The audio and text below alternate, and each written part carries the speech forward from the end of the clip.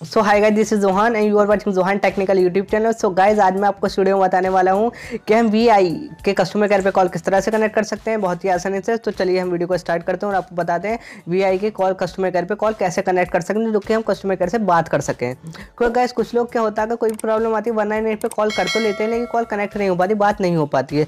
तो चलिए हम कॉल कनेक्ट करके दिखाते हैं आपको कैसे कनेक्ट करना है तो हम वन नाइन एट के ऊपर कॉल कर दिए और चलिए हैंड फ्री कर लेते हैं गाइज़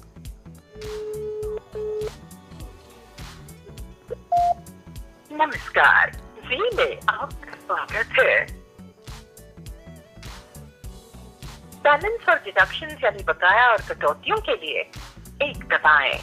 गाइस आपको सुनते रहना है इसके बारे में जो भी ये कह रही है कभी कभी क्या होता है ये डायरेक्ट इन्होंने स्टार्टिंग कर देना है मैं मीनू स्टार्ट कर दिया है कभी कभी ये क्या करते हैं ये लैंग्वेज सेलेक्ट करवाते हैं। अगर आपको हिंदी में बात करनी हिंदी में अगर इंग्लिश में करनी है तो आपको इंग्लिश में सेलेक्ट करना है ठीक है? तो इसके अंदर मैंने हिंदी के लिए सेट हो चुकी है तो मेरी हिंदी के लिए डायरेक्ट हिंदी बोल रही है ठीक है?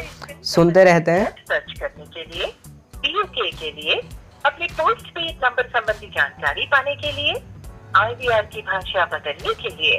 और अपनी शिकायत के समाधान के खिलाफ अपील यानी प्रार्थना करने के लिए पाँच दबाएँ। तो अभी सुनते रहना आपको कुछ नहीं करना है।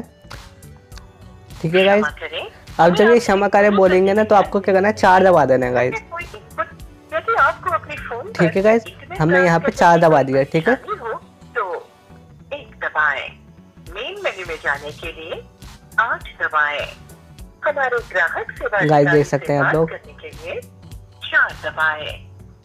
तो गाइस यहाँ पे कस्टमर कैसे बात करने के चार दबाएँ? ठीक है ये चार दबा दिए हमने। आपका कॉल ग्राहक सेवा अधिकारी से जोड़ा जा रहा है। यह कॉल आंतरिक प्रशिक्षण कार्यों के लिए रिकॉर्ड किया जा सकता है।